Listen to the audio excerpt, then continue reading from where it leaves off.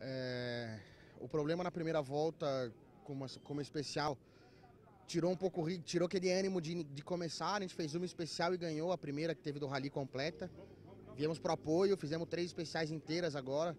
É, são especiais bem legais. A gente tem, o Felipe disse que fazia muito tempo que a gente não se divertia é, dentro do carro junto. Essas duas últimas especiais dessa volta foram bem legais, a gente se divertiu bastante. A especial do salto foi sensacional, essa última a gente voltou a ganhar foi bem legal também. Agora é pensar nas próximas duas de dia e depois focar 100% para noturna. Eu particularmente gosto bastante de andar à noite. O Felipe vai ser a primeira vez que vai andar especial grande à noite. Então espero que ele faça uma estreia com o pé direito para conseguir um bom resultado.